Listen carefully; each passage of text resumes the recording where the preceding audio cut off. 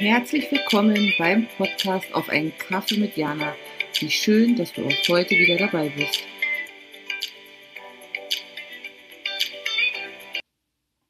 Hallo, Jana hier. Schön, dass wir uns wieder auf eine kurze Pause treffen. Ich hoffe, es geht dir gut und du hast seit unserem letzten Date eine gute Zeit gehabt. Heute habe ich dir die Geschichte vom grünen Sonnenschirm mitgebracht und was das mit meiner Erkenntnis von Erwachsensein zu tun hat.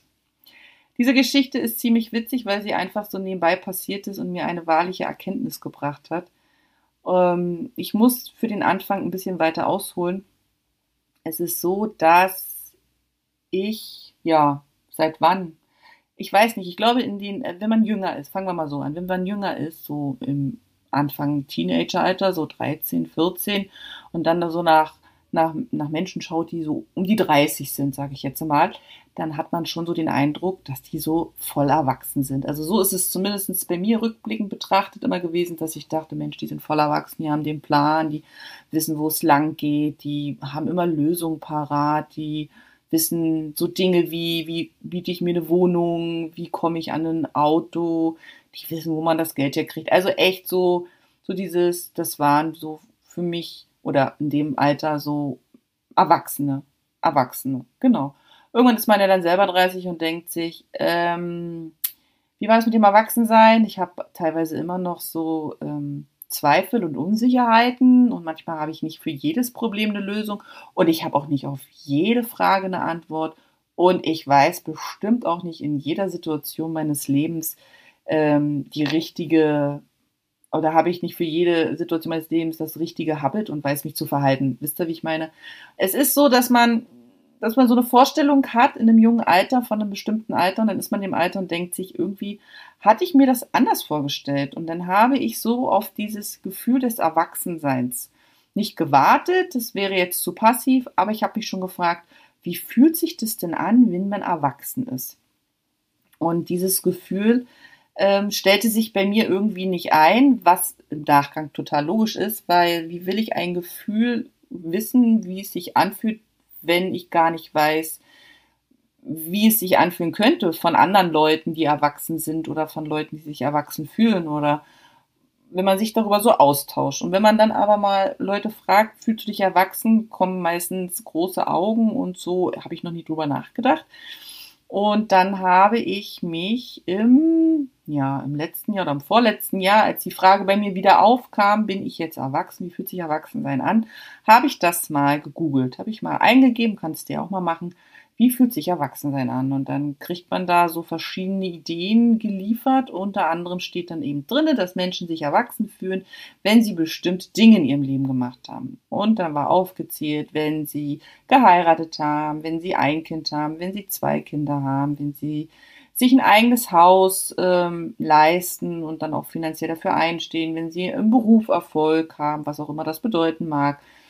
Ähm, wenn sie für sich Dinge erreicht und umgesetzt haben, die sie sich schon lange vorgenommen haben, Wünsche, Träume etc. So, und dann habe ich mir, da habe ich mir einen Stift und einen Zettel genommen und habe meine Liste gemacht. Habe gedacht, okay, ich bin verheiratet, hm, ich habe zwei Kinder, ähm, ich wohne im Ausland, ähm, ich habe Autos gekauft, ich habe Autos verkauft, ich habe verschiedene Arbeitsstellen gehabt mit verschiedenen Aufgaben und Verantwortungsbereichen ich habe studiert und das alles hat jetzt aber nicht dazu geführt, dass ich mich erwachsen fühle, sondern dass ich einfach denke, das sind Dinge, die habe ich gemacht, weil ich darauf, ja, wie sagt man, Lust hatte. Manche Dinge muss man auch machen, so wie Geld verdienen. Manchmal hat man da nicht so die Wahl zwischen den Berufen, die man dann ähm, zur Verfügung gestellt bekommt, aber es ist eine andere Geschichte. Aber so grundsätzlich sind das ja schon alles so Dinge, die ich auch so gemacht habe in meinem Leben und viele davon eben auch sehr freiwillig, also wirklich ohne ohne Zwang und trotzdem hat sich dieses Gefühl von Erwachsensein nicht bei mir eingestellt. Und dann war für mich im letzten Jahr, ich glaube, es war letztes Jahr, so irgendwie die, die Idee im Raum, ich sag gut, denn wie will ich auch irgendwas fühlen, was man nur so imaginär eben erahnen kann und nur weil, weil andere so erwachsen in meinem Sinne wirken, heißt es ja nicht automatisch, dass die sich vielleicht auch danach fühlen. Ähm, hatte aber trotzdem keine, keine Idee oder Lösung, wie fühlt sich das denn so an. Und da ich eben auch so ein Gefühlsmensch bin, bin ich da trotzdem auch noch so drauf rumge, rumgeritten, habe da wie so einen alten Knochen immer noch so rumgekaut, weil ich mir schon gewünscht hätte, dieses Gefühl zu fühlen. Also, was ist, also wie ist das bei dir? Wie fühlt sich für dich Erwachsensein an? Ich meine, kann natürlich auch sein, dass du da noch nicht so drüber nachgedacht hast, aber deswegen erzähle ich dir das. Und ähm, dann kam dieses Jahr die Geschichte mit dem grünen Sonnenschirm. Und zwar ist es so, dass bei uns am Haus ähm, so ein kleiner Weg, Beetrand neu gepflastert wurde und uns als Mini-Terrasse zur Verfügung steht. Also als Möglichkeit, sich im Sommer da eben Tische, Stühle, eine Grillecke und einen Sonnenschirm hinzustellen und ähm, sich das einfach so gemütlich zu machen. Und das haben wir dann auch genutzt, haben gesagt, okay, wenn wir jetzt diese Möglichkeit da haben, weil sich die jetzt aufgetan hat, dann bestellen wir uns jetzt Gartenmöbel und bestellen uns einen Sonnenschirm und dann haben wir da so eine kleine Sitzecke im Sommer, wenn es nicht gar zu heiß ist, dass man sich da hinsetzen kann. Wobei ich sagen muss, dass die Sommer hier extrem heiß sind. Also diesen Sommer war das so heiß, dass ich drei Monate eigentlich nur von ähm, Aircondition zu Aircondition gesprungen bin, weil alles andere das Gefühl einer inneren und äußeren Verbrennung nach sich zog, aber das ist ein ganz anderes Thema. Es war dann so, dass dann auch alles geliefert wurde und dann auch der Moment mit diesem grünen Sonnenschirm kam. Das heißt, der grüne Sonnenschirm wurde geliefert, wir haben ihn dann aufgebaut, wir haben die Sitzecke vor, vorbereitet, hergerichtet und dann saß ich da und dann guckte ich diesen Sonnenschirm an und habe dann zu meinem Mann gesagt, ich bin jetzt äh, über 40, 43 um genau zu sein, und ich habe in meinem ganzen Leben noch nie einen eigenen Sonnenschirm gehabt. Das ist das erste Mal in meinem Leben, dass ich einen eigenen Sonnenschirm besitze. Und das hat mich glücklich gemacht. Glaubt ihr es? Das war so ein erhabenes Gefühl, dass ich jetzt der Besitzer eines Sonnenschirms bin. Und dann habe ich da gesessen und darüber nachgedacht, was das jetzt mit mir macht. Und dann kam die Erkenntnis, was für mich Erwachsensein bedeutet. Und das kann für dich eine ganz andere sein. Aber ich teile dir meine Erkenntnis von diesem grünen Sonnenschirm. Als ich da gesessen habe und mich so gefreut habe und so glücklich war, dass ich jetzt diesen Sonnenschirm habe, dieses für andere Dinge, für andere Leute vielleicht klein und unbedeutend, für mich in dem Moment aber wirklich sehr wertvoll, hat sich ein Gefühl von Zufriedenheit eingestellt. Und zwar diese Zufriedenheit, so wie es ist, ist alles gut. Ich habe jetzt diese Sitzecke und ich habe jetzt die Möglichkeit, mir eine Mini-Terrasse zu bauen und ich habe jetzt diesen Sonnenschirm und ich bin zufrieden und dankbar, dass es das gibt, dass ich die Möglichkeit habe, mir das auch finanziell zu leisten, weil es gibt bestimmt Leute, die sich keinen Sonnenschirm leisten können. Und dann habe ich festgestellt, dass das für mich Erwachsensein bedeutet. Innere Zufriedenheit und Dankbarkeit für das, was man bisher in seinem Leben geschaffen hat, weil ich auch glaube, aus meiner eigenen Erfahrung, dass wenn wir jünger sind, sind wir oft auf der Suche nach mehr. Man glaubt immer, das Gras ist auf der anderen Seite grüner.